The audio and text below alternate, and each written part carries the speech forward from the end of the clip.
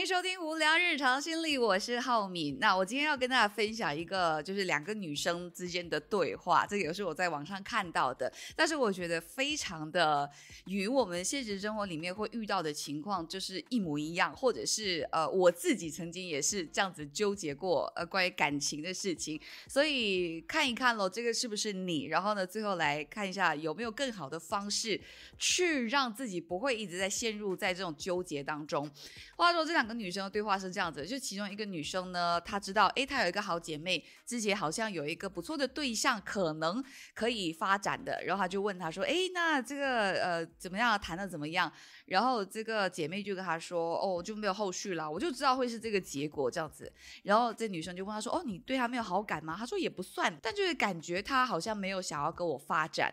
那姐妹就会问她说，哎，怎么说啊？为什么会这样讲？她说，其实半年来呢，这个男生都没有正式的主动约。过她都是他自己主动约对方的，那对方有的时候被约的时候，甚至还会拒绝。那他他可能就是先表达说，就这个男生啦，先表达说，哦，不好意思，可能我就是一个比较没有那么有创意的人，所以这个是你要先包含哦。如果就是你希望我可以哇，给你很多的 surprise 啊，或怎么样，可能我不是这样子的男生，就先让这个女生先知道，他可能就是这样的一个比较木的、比较没有创意的男生。然后这女生一开始 OK 知道了，但没有关系，她就先主动去约这个男生很好几次。可是这个男生要么就是拒绝，要么就是很被动的就接受这个。呃，他的邀约，又不然就是可能还会给他提起他的事情，然后这女生就一直觉得说，我都搞不清楚他到底是呃在婉拒我是真的单纯没有时间呢，还是说其实他对我没有意思，还是怎么样？可是他又不好意思去问，因为他觉得两个人之间的关系一直暧昧不明这样子，我是以什么身份去追问他这些呢？所以他就会越想越气，就会觉得这种拉拉扯扯的感觉很讨厌，又觉得浪费了很多的时间。那这个姐妹就问他说：“哎，那他去不去你想去的那些呃活动，或者是你想做的事情，有没有他你的体验的影响会大吗？”然后这女生就说：“其实也不是，其实这些活动我自己也是很享受的，真就是想要跟他一起嘛，带上他这样。”所以她的姐妹就说：“对啊，其实你本来也是可以享受这些活动的，所以不能说是浪费了时间。而且如果对方真的跟你一起去进行这些活动的话，其实对方也是在花时间陪你，不是吗？那他是不是也要耗费一些时间跟精力呢？”然后这个女生就是想一想说：“哎，对哦，对方其实也算是有付出的。比如说他提议要去一个比较远的地方，要开一个可能三四个小时的车程的一个地方，然后这个男生也会花时间去找一个路线啊，然后开一整天的车啊，然后对方。”也是没有怨言的，可是这个女生还是想着想着，还是觉得很生气，说：“可是如果对方这样半年来都没有邀约我，他是不是对我没有兴趣？没有兴趣的话，他是不是可以早点拒绝我呢？那不要一直这样子模模糊糊嘛，我没有感觉到那种被坚定选择的感觉。你说他是不是不敢负责任？那好朋友就问他说：那如果这个男生一开始就拒绝你的话？”你是不是会觉得说，凭什么你不给我尝试的机会？然后这女生就说啊，凭我的性格，确实可能会有这样子的质问。那这边就值得停一下，让大家去思考一下，是不是常常也遇到这样的情况，就觉得男生太被动了，然后你就很讨厌，想说，那你如果真的不喜欢，就不要拖拖拉拉嘛，就直接告诉我就好。但是呢，当如果对方真的一开始就拒绝你、拒绝你、拒绝你的话，你是不是也会觉得很很，你就想说，都还没有尝试过，你凭什么拒绝我？我这么不好吗？这样，所以好像怎么做，你还是会心里感觉到不舒服的，对吗？所以他的好朋友就跟他说，呃，所以可能这个男生并不是说他故意要拖着。你他可能也在考虑，因为呢，亲密关系的早期就是一个互相探索、互相选择的一个过程嘛，所以平均来讲，可能是需要花三个月到六个月的时间去做这件事情的。这样子呢，也可以为了以后呃这个关系更稳定嘛，不会就是突然哇一见钟情，然后一头热就给你很多的 promise，然后突然间冷掉，你其实也也不是对一个关系很健康的一个发展嘛。可是这个女生还是会纠结于，就是在于我一直这么。主动，他就不能在刚开始的时候也热情一点、主动一点吗？嘟音这边又可以停一下，因为这个也是我们很常在一个关系里面，或者是你自己在这样子的一个状态下的时候，可能会去跟姐妹抱怨，或者是你在姐妹抱怨团里面的时候，会听到其他的姐妹跟你抱怨，呃，可能她喜欢的一个对象，然后对方呢又。不主动、不够热情，你自己就会纠结说他到底喜不喜欢我，他够不够喜欢我，我到底还要不要继续花时间在这个男生的身上这样子。然后这个姐妹就跟他说，其实关系的早期呢，如果对方真的频繁表现出特别夸张的热情。可能才需要小心哦。为什么这样讲呢？就是他有说到他们另外一个朋友，就是呃一开始那个男生也是猛追啦，那个时候就还以为说哇遇到真爱了，哇这个男生这么的投入，这么的热情。可是结果发现呢，这个男生是操纵型人格的，然后之后就分手了。所以可能操纵型人格也是有一点 NPD，呃自恋型人格的特征。这个之前我在另外一集聊 NPD 的时候也聊过，欢迎大家去找回来听一听。然后呢，就呃，这个姐妹就继续说了，她说操纵型啊或者表演型人格的人呢，都喜欢在很早的时候就给出超多的承诺，因为他们想要快速的迷惑住对方，而且呢，在过高的评价基础上去建立起这样子的关系呢，往往也只是雾水情缘而已。所以呢，他觉得相对这种过于夸张的认可，一开始会有犹豫，其实也不是那么糟糕，对吧？然后这个女生想一想，觉得哎，好像有被安慰到这样。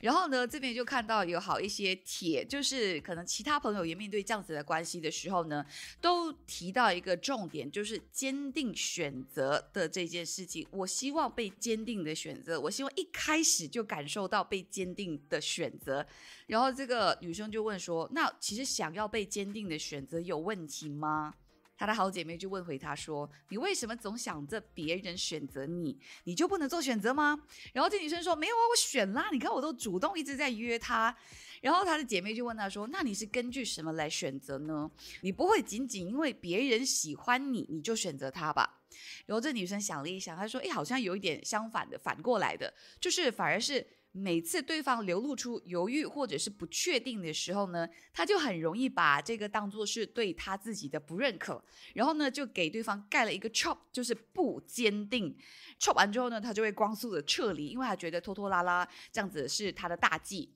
然后这种情况呢，在他身上呢，已经发生了过好几次了。就是很多前面感觉上可能可以发展不错的对象，结果都无疾而终，都是因为这样子。所以他的姐妹呢，就点出来，就说你其实陷入了一个悖论，就是你想要人家坚定的选择你，但是你跑得这么快，也不像是在坚定的选择人家。所以他意思就是，其实你自己也没有那么坚定的在选择人家，可是你要求对方要坚定的选择你。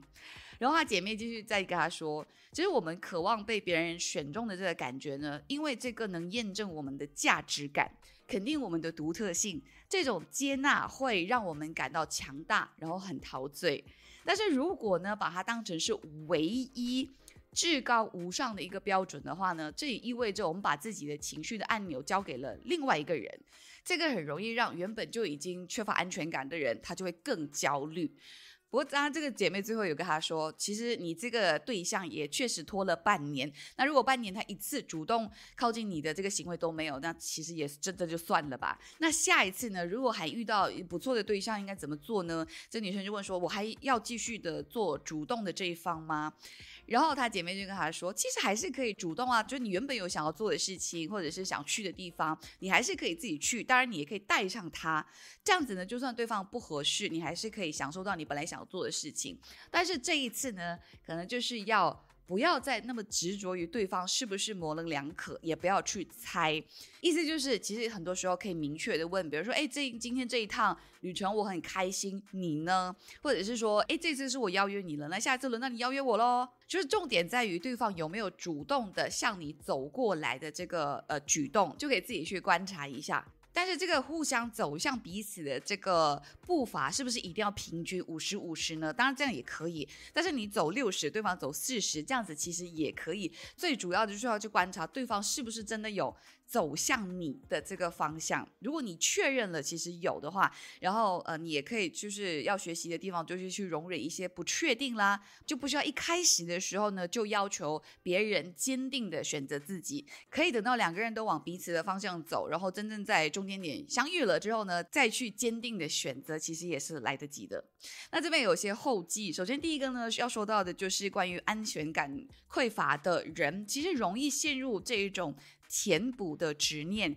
就是把外在的反馈及时满足当成是自己最高优先级，也就是依赖外在的反馈去确认自己的价值。这样子呢，其实会导致到我们在面对不确定性的时候或拒绝的时候呢，会更容易焦虑的。这种焦虑呢，也容易转化成一种回避。如果一旦感受到就是对方在衡量啊，对方在考虑啊，我们可能就会哇，马上的光速的后退，因为想要保护自己嘛，就是我们的那个自尊已经摇摇欲坠了。如果再因为这样又被伤害的话，我们不想，我们不要，所以呢，自己先撤才可以最好的保护我们的自尊。所以呢，在安全感缺乏的情况下呢，很容易产生就是焦虑型或者是回避型的依恋人格。这个之前我在另外一集的 podcast 也是跟大家分享过的，同样大家也可以找回来听一听。但是很遗憾的一个情况就是，如果你反复的用这样子的方式去处理的话呢，就是要么一直想要马上得到一个明确的答案，要么就是太快的撤退的话，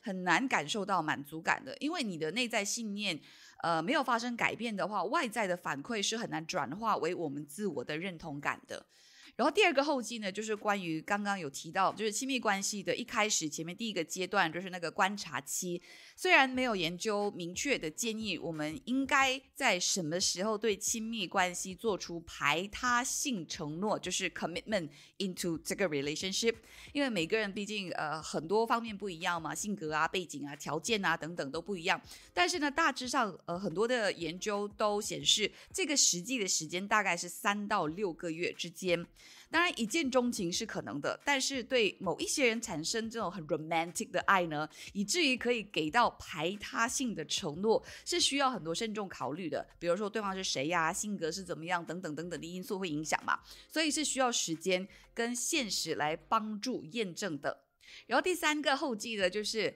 有的时候呢，一个个体的内心的信念会影响我们对外部反馈的解读。比如说，如果我们是认为自己是缺爱的，我们需要别人来爱我们，以证明我们值得，那我们的内在信念呢，会不断不断的去帮我们验证这个观点。那有一句话就说到，如果一个人是精神贫瘠的，他执着于被爱或过于渴望被认可。那不管他拥有多少的能力或者是资源，都很难救他于现实的困境。也就是我们外在看来，他比如说拥有了很多财富啊，看似好多追求者啊，或者是朋友很多啊，但是他内心内在一直是匮乏的，里面有很多的坑坑洞洞，就是从头到尾他都没有办法肯定自己的价值，他没有办法打从内心感到满足。只要外界一没有某一些反馈是他所渴望的，他就会不开心，他就会。焦虑，他就会抑郁，或他就会生气。所以最重要就是要自己的内在信念要有改变，先要坚定的选择你自己。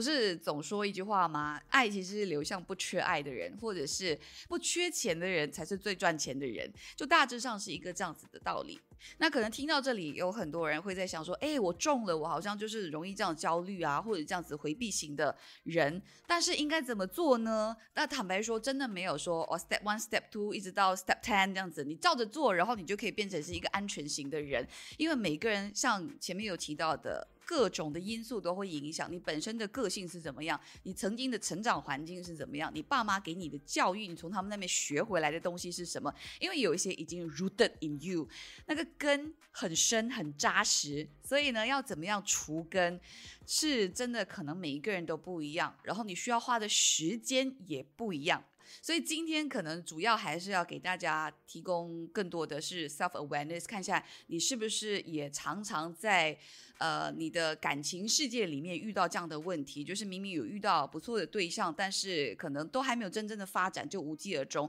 或者是你明明一个人过得很好的，你觉得啊超有安全感的，然后自己超自信的，然后过得超好的，但是只要一有喜欢的人。的时候呢，然后很想跟他发展关系的时候，你整个人就变了，变成是一个很焦虑的人，变得是一个嗯，好像精神就是没有办法专注在自己原本可以做的很好的工作上，然后心思就一直花在对方为什么不回我，对方为什么不约我，对方要怎么样怎么样怎么样，然后又影响到你的呃情绪，可能就变得烦躁啊等等，就就不是你自己了，然后你很不喜欢这样子的状态的自己。有吗？我觉得这应该不少人，尤其是女生，好像比较容易会有一个这样的情况。所以会不会就是你把自己困在这个所谓的很早期就想要被坚定的选择的这个要求或执念上，所以才会这样？然后这个执念是不是来自于你其实是因为缺乏安全感，或者是缺乏对自己的价值的肯定？所以才会需要一直外在给你这样子的肯定，被坚定的选择，你才会觉得我是好的，我是值得的。